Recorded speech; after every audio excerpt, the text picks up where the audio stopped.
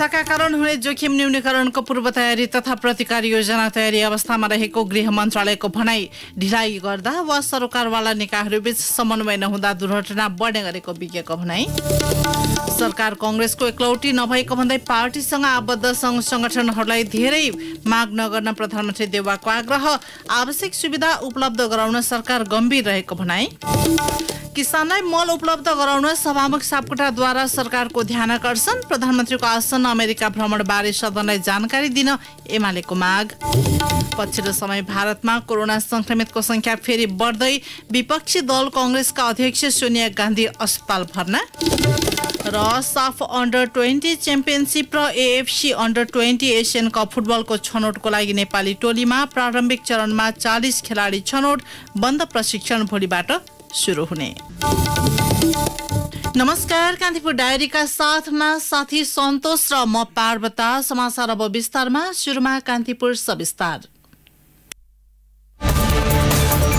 कान्तिपुर सविस्तार।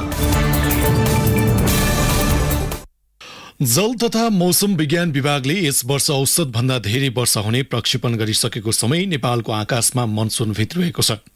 नेपालको हकमा मनसुन र प्राकृतिक विपदको अनुन्यासरित सम्बन्ध छ। विपदबाट हुने जोखिम कम गर्न गृह मन्त्रालय अन्तर्गतको राष्ट्रिय विपद जोखिम न्यूनीकरण तथा व्यवस्थापन प्राधिकरणले मनसुन पूर्व तयारी तथा प्रतिकार्य कार्य योजना तयार पारेको छ। तर यसलाई सरकारले स्वीकृति प्रदान गर्न बाँकी छ। प्रत्येक वर्ष विपदको पूर्वानुमान हुने गरे पनि न्यूनीकरणका लागि ढिलाइ गर्दा वा सरकारवाला निकायहरूबीच समन्वय अभाव हुने हुँदा घटना बढी हुने गरेको विज्ञहरूले बताउँछन्। मनसुनको यो सिजनमा बाढी पहिरोबाट कम्तीमा बीस लाख जनसङ्ख्या प्रभावित हुने प्रक्षेपण गृह मन्त्रालयको छ। मन्त्रालय अन्तर्गतको राष्ट्रिय विपद जोखिम न्यूनीकरण तथा व्यवस्थापन प्राधिकरणका अनुसार प्राकृतिक विपदले चार लाख एक्काइस हजार सडचालिस घरधुरीका उन्नाइस लाख उनासय हजार नौ सय पचहत्तर मानिस प्रभावित हुने अनुमान छ। जल तथा मौसम विज्ञान विभागले मुलुकका अधिकांश क्षेत्रमा सरदर भन्दा बढी वर्षा हुने अनुमान सार्वजनिक गरेपछि प्राधिकरणले विगतको समग्र घटना स्थितिको विश्लेषण गरेर जोखिम न्यूनीकरणको पूर्व तयारी तथा राहत उद्धार तथा पुनर्स्थापनाका लागि समयनात्मक रूपमा प्रतिकारी योजना तयारी अवस्थामा राखिएको जनाएको छ। प्राधिकरणका प्रवक्ता डाक्टर डिजन भट्टराई। बहुआयामी हुन्छन् मनसुनका। त्यस कारणले बाढीका लागि पहिरोको लागि राहत उद्धारका विविध पक्षहरूको विभिन्न निकायहरूको सहकार्यमा कार्य गर्न जरुरी हुन्छ। यसको लागि हामीले दसवटा मन्त्रालयहरू तिनवटै सुरक्षा निकायहरू अनि जल तथा मौसम विज्ञान विभाग लगायतका सरकारी निकाय संयुक्त राष्ट्र संघका संयुक्त राष्ट्र सङ्घीय निकायहरू विभिन्न सङ्घ संस्थाहरू सबैको उहाँहरूसँग भएको क्षमता उहाँहरूसँग भएको विशेषज्ञता होइन दक्षता अनुरूप सबैको अधिकतम उपयोग गर्ने ढङ्गले चाहिँ विपद पूर्व तयारी प्रतिकारी योजना निर्माण गरेका छौँ। प्राधिकरणले सबैभन्दा बढी प्रदेश एकमा पाँच लाख सत्तरी हजार दुई सय चौरासी मध्य प्रदेशका चार लाख पैसठी हजार चार सय पन्चानब्बे र लुम्बिनीमा तीन लाख उनासी हजार नौ सय दुई जनसङ्ख्या प्रभावित हुने अनुमान गरेको छ। कर्णालीमा सबैभन्दा कम चौवन्न हजार नौ सय पचपन्न जनसङ्ख्या प्रभावित हुने प्रक्षेपण छ। गत वर्ष बाढी पहिरोका कारण चार सय नब्बे जनाको मृत्यु भएको थियो। सत्तरी जना बेपत्ता भएका थिए। मौसम विज्ञान विभागले यो वर्ष प्रदेश एकको झापा मोरङ सुनसरी र मध्य प्रदेशको सप्तरीमा बढी वर्षा हुने अनुमान गरेको छ। तराईका अन्य क्षेत्रमा सरदरको वर्षा हुने बताइएको छ। बागमती प्रदेशको सिन्धुपाल्चोक र रामेछापमा बढी वर्षा हुने तथा उपत्यकामा सरदर वर्षाको आकलन छ। गण्डकी प्रदेशको दक्षिणी भेगमा सरदर भन्दा बढी वर्षा हुने तथा लुम्बिनी र कर्णाली प्रदेशमा पनि भारी वर्षाको प्रक्षेपण गरिएको छ। बढी वर्षा हुने भनी अनुमान गरिएका जिल्ला सहितका क्षेत्रमा आवश्यक पूर्व तयारी तथा प्रतिकार्य योजना बनिसकेको जल तथा विज्ञान महाशाखा अन्तर्गतको बाढी पूर्वानुमान शाखाको भनाइ छ। शाखाका प्रमुख सुनिल पोखरेलका अनुसार विगतमा पञ्चानब्बे प्रतिशत भन्दा बढी प्रभावकारी देखिएको एसएमएस प्रणाली सहित जोखिमयुक्त बस्तीको नक्साङ्कन सहित सम्भावित घटना न्यूनीकरणका लागि तयारी भइसकेको छ।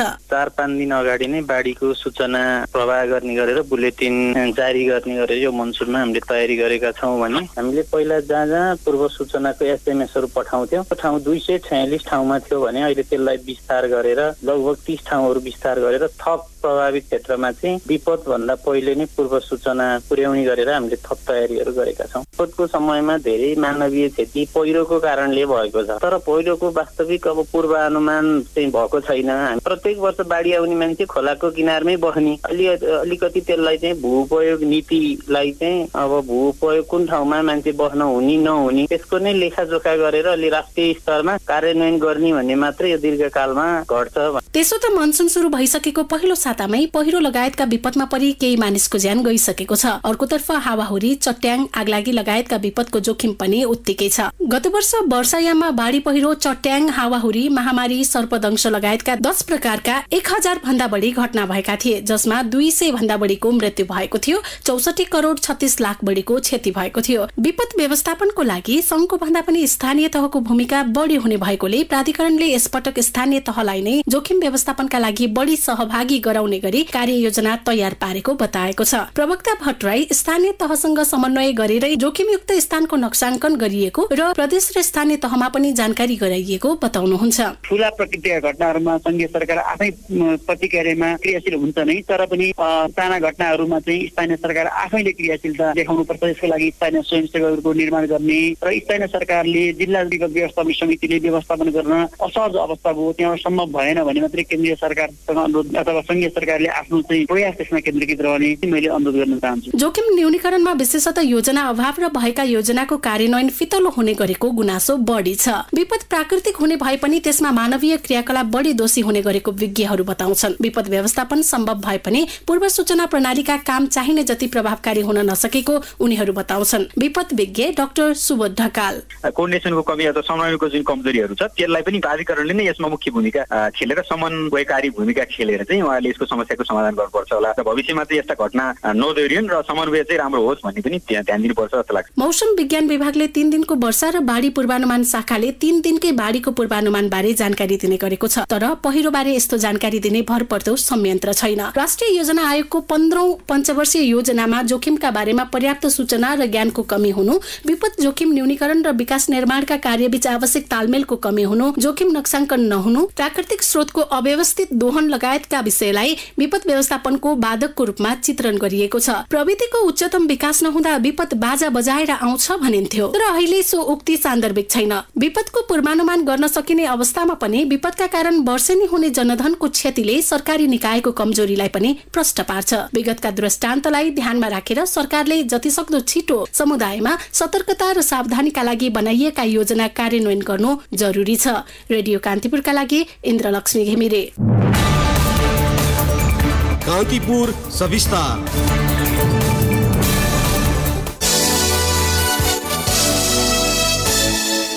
प्रधानमन्त्री शेरबहादुर देवले सरकार एकलौटी रूपमा कंग्रेसको नभएको भन्दै पार्टीसँग आबद्ध संघ संगठनहरूलाई धेरै माग नगर्ने आग्रह गर्नु भएको छ।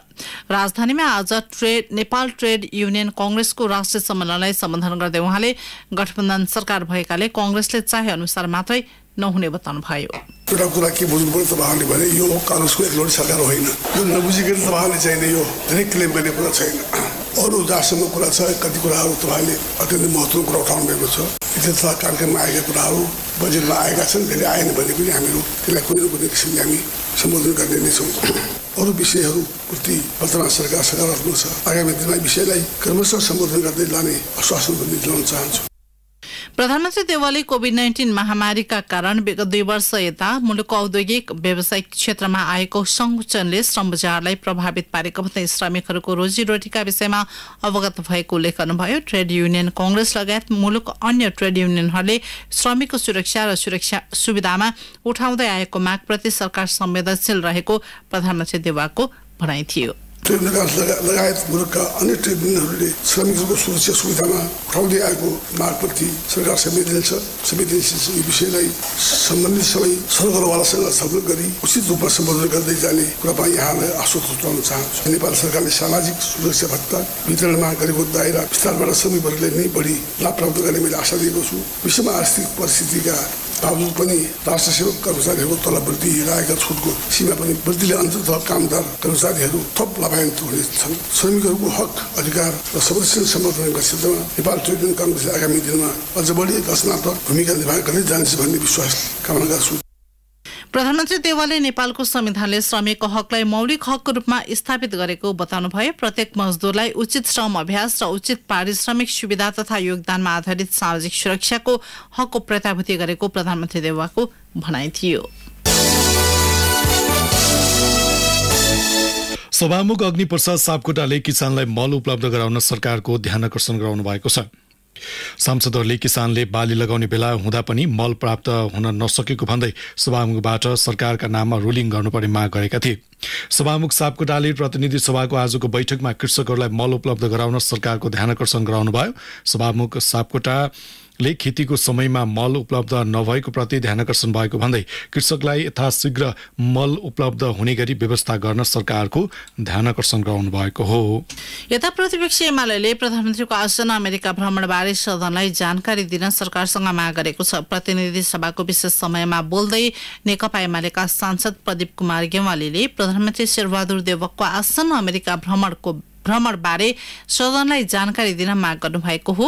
प्रधानमन्त्री देवाको भ्रमणबारे परराष्ट्रलाई बाइपास गरेर रक्षा मन्त्रालयले अग्रसरता लिएको प्रति सांसद गेवालीले प्रश्न गर्नुभयो।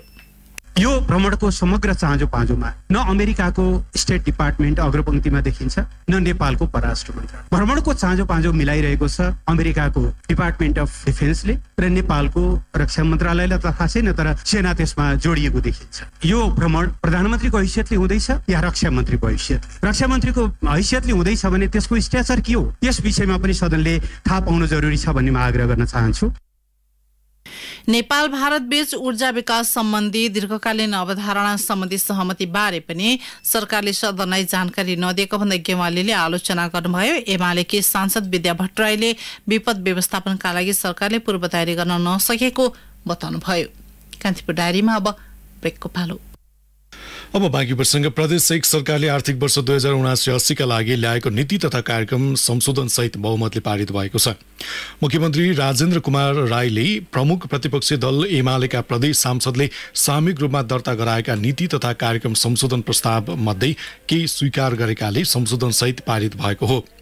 यसैबीच लुम्बिनी प्रदेश सरकारको नीति तथा कार्यक्रम बजेट बहुमतले पारित भएको छ। गत मङ्गलबार पेश भएको प्रदेश सरकारको आगामी वर्षको नीति तथा कार्यक्रम प्रदेश सभाबाट आज बहुमतले पारित भएको हो।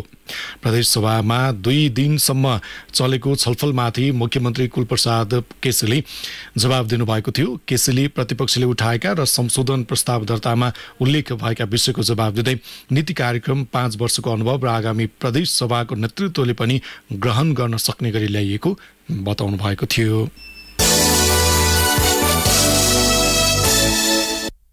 युवा तथा खेलकुद मन्त्री महेश्वर गहतराजले विभिन्न मन्त्रालयगत कोषहरू खारेज गर्नुपर्ने बताउनु भएको छ। काठमाडौँमा आयोजित एक गोष्ठीमा मन्त्री गहतराजले युवा स्वरोजगार कोष गरिबी निवारण कोष लगायत विभिन्न चौधवटा कोषहरूबाट अर्बौं रकम विनियोजन भए पनि उद्देश्य अनुसारको उपलब्धि नभएको उल्लेख गर्नुभयो स्थापित विभिन्न कोषहरूले सञ्चालन गरेका कार्यक्रम तथा मन्त्रालयहरूले गरेका सञ्चालन गरेका कार्यक्रम उस्तै हुने भएकाले लक्ष्य अनुसारको उपलब्धि हुन नसकेको उहाँको भनाइ थियो।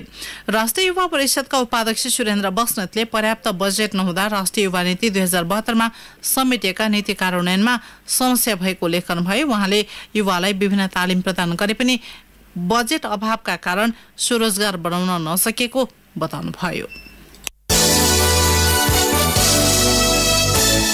नेपाली सेनाका पूर्व प्रधान सेनापति रुकमाङ्गत कटुवालको मृगोला प्रत्यारोपण गर्न लागि छ।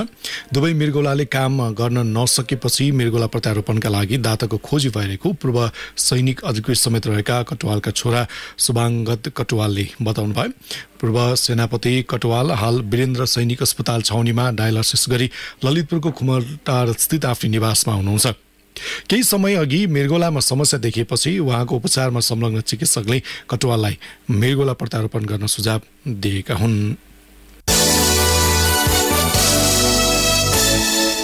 लघु घरेलु र साना उद्योग एकत्रित गरी सञ्चालन गर्न धनकुटाको अमलेटारमा औद्योगिक ग्राम निर्माण गरिएको छ। ग्रामसम्म पुग्ने सडक र आवश्यक भवन पूर्वाधार तयार भएको भए पनि तयार भएको पनि तीन वर्ष भइसक्यो तर उद्योग सञ्चालनमा आउन सकेका छैनन्। एक रिपोर्ट। धनकुटाको आत्मारामा रहेको अमलेटारमा औद्योगिक ग्राम बनाउन दुई हजार उन्चालिस सालमै साठी रोपनी जग्गा अधिग्रहण गरिएको थियो। त्यस यता पटक पटक गरी यो ठाउँमा सडक र भवन पूर्वाधार निर्माणका लागि सत्र करोड रुपियाँ खर्च भइसकेको छ। बाहन्न मध्ये सत्ताइसवटा व्यापारिक भवन तीन वर्ष अघि नै तयार भइसकेका छन्। बाँकी भवन निर्माणाधीन छन्। तयार पारिएका भवनमा उद्योग सञ्चालन गर्दै जाने सरकारी योजना छ तर उद्योग सञ्चालनमा आउन सकेका छैनन्। घरेलु कार्यालय धनकुटाका प्रमुख ईश्वर थापा। चालु आवामा थप बजेटको लागि मन्त्रालयसँग कुरो गरिरहेछौँ कोर्डिनेसन गरिरहेछ। त्यसमा हामीले भनेअनुसार बजेट आयो भने लघु उद्यमीहरूलाई प्रोत्साहन गर्न सकिने खालका कार्यक्रम ल्याएर हामी चाँडै नै यसलाई चाहिँ उद्देश्य अनुरूप कार्य सुरुवात गर्ने चरणमा छौँ ग्राममा उद्योग सञ्चालनका लागि घरेलु कार्यालयले पटक पटक मागेको प्रस्तावमा जम्मा तेह्रजना उद्यमीको निवेदन परेको छ। तर उद्योग सञ्चालनका लागि सम्झौता गर्न कोही पनि आएका छैनन्। ग्राममा भवन पूर्वाधार तयार भइसके पनि औद्योगिक तथा व्यापारिक वातावरण बनिन सकेको उद्योग वाणिज्य सङ्घ धनकुटाका सचिव श्रीराम रायमाझीको भनाइ छ। खानेपानीको कुराहरू कति सहज छ? होइन परिवार बस्नका निम्ति कति सहज छ? आदि इत्यादि विषय पनि जोडिएकै हो त्यो विषयमा। बजारीकरणको विषयमा त अब त्यहाँ उत्पादन हरेक कुरा गरे पनि ल्याएर बेच्नुपर्ने अन्त पुर्याउनु पर्ने समस्याहरू छँदैछन्। ग्रामका लागि भवन पूर्वाधार बने पनि कच्चा पदार्थ आयात तयारी माल वस्तु निर्यात लगानी उत्पादन रोजगारी सम्भावित बजार व्यवस्था जस्ता औद्योगिक सुविधा नभएको उद्योगी व्यापारीको भनाइ छ। औद्योगिक वातावरण निर्माणका लागि सहयोगी भूमिका निर्वाह गर्न धनकुटाका उद्योगी व्यापारीले सरकारसँग आग्रह गरेका छन्। रेडियो कान्तिपुरका लागि विनोद घिमिरे धनकुटा। न्यायको माग गर्दै मोहतरीको जलेश्वर नगरपालिका आटकी नेहरिका राजपुतले आमरण अनसन सुरु गरेकी छन्। कुमारी आमाको रूपमा चिनिने राजपुतले सत्र वर्षको हुँदा जनकपुरका शिवराज श्रेष्ठले नसालु पदार्थ खुवाएर बलात्कार गरेको दावी गर्दै आएकी छन्। सो घटनाबाट बच्चा जन्मिए पनि न्याय नपाएको उनको भनाइ छ। अहिले उनको एक्काइस महिनाको बच्चा छ। काठमाडौँको माइतीघरबाट अनसन थालेकी राजपुतलाई प्रहरीले शुक्रबार राति नौ बजे बसन्तपुर पुर्याएको थियो। उनी अहिले बसन्तपुरमै अनसनमा छिन्। घटना भएको चार महिनापछि धनुषाको छिरेश्वरनाथ नगरपालिका तीन बस्ने श्रेष्ठ विरुद्ध उनले जबरजस्ती करणी मुद्दा दर्ता गराए पनि जिल्ला अदालत धनुषाले श्रेष्ठलाई सफाई दिइसकेको छ। सरकारी वकिलले जनकपुर उच्च अदालतमा मुद्दा पुनराव पुनरावेदन गरे पनि चार महिनासम्म पेशी समेत तोकिएको छैन। उनले मुद्दामा पुनः अनुसन्धान गर्नुपर्ने र आफूलाई न्याय दिनुपर्ने माग गर्दै आएकी छन्।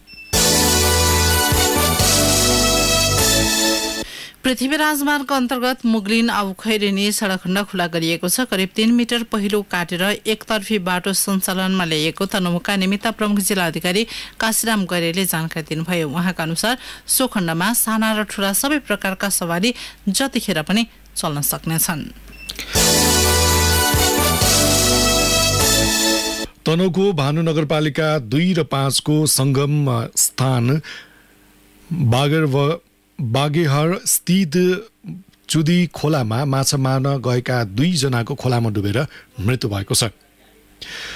खोलामा माछा मार्दै पौडी खेल्ने क्रममा उनीहरूको मृत्यु भएको प्रहरी नायब उपरीक्षक युव युवराज खट खड्काले बताउनु भयो मृत्यु हुनेमा भानु दुईका पैँतिस वर्षीय धनबहादुर गुरुङ र बाइस वर्षीय सागर गुरुङ रहेको प्रहरले जनाएको छ।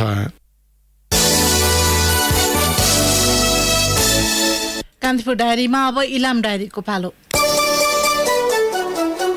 इलाम डायरीमा विप्लव भट्टराईको नमस्कार। झापासँग सीमा जोडिएको इलामको दक्षिणी क्षेत्रमा अझै पनि खोला नालामा पक्की पुल नहुँदा आवागमनमा समस्या छ। झापाको शनिश्चरे खुद्नाबारी बिर्तामोड लगायतका सहर पुग्न हिउँदियाममा सहज भए पनि बर्खायाममा भने पुलकै अभावमा स्थानीयले कठिनाई भोग्नु परेको छ। रोङ गाउँपालिका दुईको बदमटार बर्फल्याङ साधुटार लगायतको क्षेत्र अन्नबाली सागसब्जी फलफुल लगायत उत्पादनमा जिल्लामै अग्रणी छ।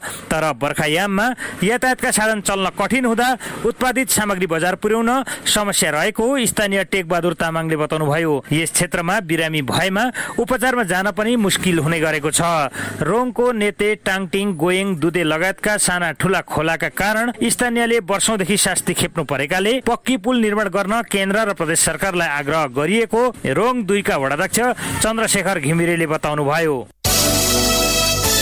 स्थानीय तहको निर्वाचनमा गठबन्धन गरेका दलहरूबीच त्यस यता असमझदारी बढेको छ। नेकपा यसका सम्मानित नेता जलनाथ खनालको निर्वाचन क्षेत्रमा पर्ने सूर्योदय नगरपालिकामा कार्यपालिका गठनमा एमाले र नेकपा एस बीच तालमेल भएको थियो। सोही अनुसार एमाले र यसकै उम्मेद्वार विजयी बने। आगामी असार चार गते हुने जिल्ला समन्वय समितिको निर्वाचनमा पनि एमाले र यस बीच नै तालमेल हुने भएको छ। आज मनोनयन गर्ने क्रममा एमालेको तर्फबाट जिसेस प्रमुखमा जयप्रकाश राई र यसको तर्फबाट चित्रकला बराइलीले मनोनयन दर्ता गराउनु भयो नेपाली काङ्ग्रेस एक्लैले उम्मेदवारी दर्ता गराएको छ। पूर्वी पहाडी जिल्लाको लाइफ लाइनको रूपमा रहेको मेची राजमार्ग जीर्ण बन्दै गएको छ। सडकको अवस्थाले दुर्घटनाको जोखिम बढेको छ भने यात्रा अवधि पनि लम्बिएको छ। इलाम पाँच थर ताप्लेजुङ झापा र तेह्रथुङसम्मका बासिन्दाका लागि सवारी आवागमनको माध्यमको रूपमा रहेको मेची राजमार्गको इलाम खण्डको विभिन्न स्थानमा सडक धसिने तथा कालोपत्रे उप्किएर अप्ठ्यारो हुँदा सवारी साधन गुडाउने समस्या हुने गरेको हो। राजमार्गको रोङ र इलाम नगरपालिका खण्डमा धेरै समस्या देखिएको छ। इलामको पर्यायको रूपमा रहेको ऐतिहासिक चिया बगान उजाडिँदै गएको भन्दै अघिल्लो स्थानीय तहको निर्वाचनबाट बनेको नगरसभाको पहिलो बैठकले नै बगान फिर्ता गर्ने निर्णय गर्यो। यस्तै निर्णय सूर्योदय नगरपालिका र माई नगरपालिकाले पनि गरे। तर अहिलेसम्म त्यो निर्णयमा नै सीमित देखिएको छ। हवस् त इलाम डायरी आजलाई सकियो। विप्लव भट्टराई बिदा हुन्छु। नमस्कार। जिल्ला डायरी कान्तिपुर डायरीमा पुनः ब्रेकको पालो। अब आर्थिक प्रसङ्ग श्रम रोजगार तथा सामाजिक सुरक्षा मन्त्रालयले पहिलो पटक पाँच वर्ष रणनीतिक योजना तयार गरेको छ। मन्त्रालयबाट सम्पादन हुने क्रियाकलापको मार्गदर्शन गर्न र कामलाई नतिजामूलक बनाउन पाँच वर्ष रणनीतिक योजना तयार गरिएको श्रम रोजगार तथा सामाजिक सुरक्षा मन्त्री कृष्ण कुमार श्रेष्ठले बताउनुभयो। पाँच आर्थिक वर्षमा सम्पन्न हुने विभिन्न क्रियाकलाप त्यसका लागि आवश्यक लागत र सोबाट प्राप्त हुने अपेक्षित उपलब्धिको आकलन पनि रणनीतिक योजनामा गरेको मन्त्री श्रेष्ठको भनाइ छ।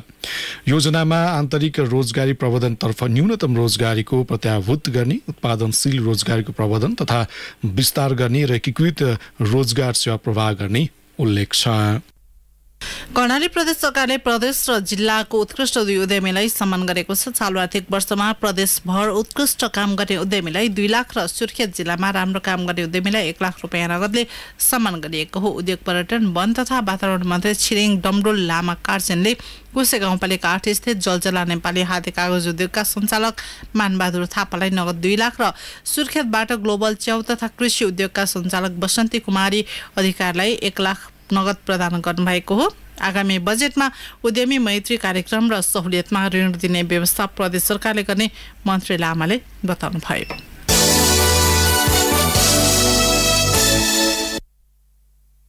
अब अन्तर्राष्ट्रिय प्रसङ्ग भारतमा विपक्षी दल कङ्ग्रेसका अध्यक्ष सोनिया गान्धीलाई कोरोना संक्रमण पुष्टि भएपछि अस्पताल भर्ना हुनुभएको छ।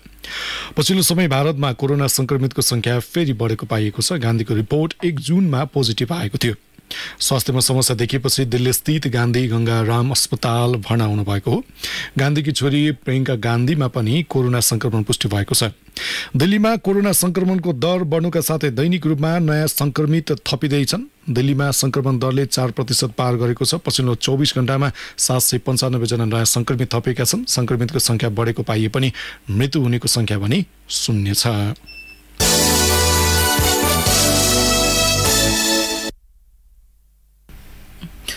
अब खेल प्रसङ्ग साफ अन्डर ट्वेन्टी च्याम्पियनसिप र AFC under twenty Asian cup फुटबलको छनौटको लागि नेपाली अन्डर ट्वेन्टी टोलीका मुख्य प्रशिक्षक मेघराज केसीले प्रारम्भिक चरणमा चालिस खेलाडीको छनौट गरेका छन्। एक साता लामो छनौटबाट प्रशिक्षक केसीले चालिस खेलाडीलाई प्रारम्भिक चरणको बन्द प्रशिक्षणमा सामेल गर्ने निर्णय गरेका हुन्।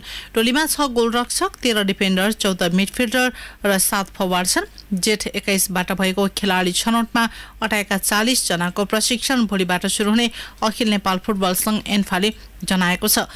अन्डर ट्वेन्टी साफ च्याम्पियनसिप भारतमा पच्चिस जुलाईदेखि तीन अगस्तसम्म हुँदैछ। नेपालले मालदिप्ससँग पच्चिस जुलाईमा श्रीलङ्काले सत्ताइस जुलाईमा एकतिस जुलाईमा भारत र दुई अगस्तमा बङ्गलादेशसँग खेल्ने तालिका छ। यस्तै बहराइनमा सेप्टेम्बर दसदेखि अठारसम्म हुने AFC under twenty Asia cup छनौटमा नेपालले बङ्गलादेश कतार बहराइन र भुटानसँग खेल्नेछ। हवस् त यिनै प्रसङ्गसँग कान्तिपुर डायरीका आजका सम्पूर्ण बुलेटिन यही सकिन्छन्। भोलि बिहान साढे छ बजे हाम्रो नियमित बुलेटिन हुने नै छ। सन्तोष र म पार्वता आज्ञा माग्छौँ। नमस्कार।